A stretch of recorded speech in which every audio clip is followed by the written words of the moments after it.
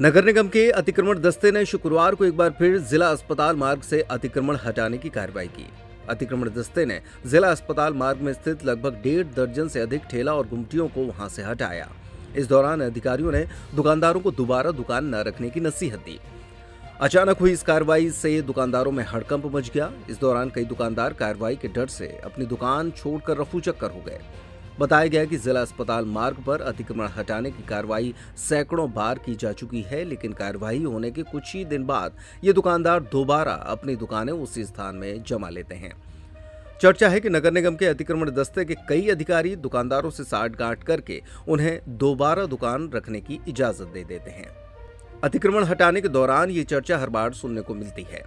जिला अस्पताल के मुख्य गेट के सामने ऑटो खड़ा होने की वजह से भी जाम लगा रहा था।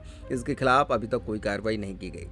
गौरतलब है कि पुलिस अधिकारियों द्वारा ऑटो संघ की बैठक लेकर कई दिशा निर्देश दिए गए थे। इस दौरान ऑटो चालकों को सख्त निर्देश दिया था कि कोई भी ऑटो चालक नो पार्किंग जोन में ऑटो खड़ा न करे।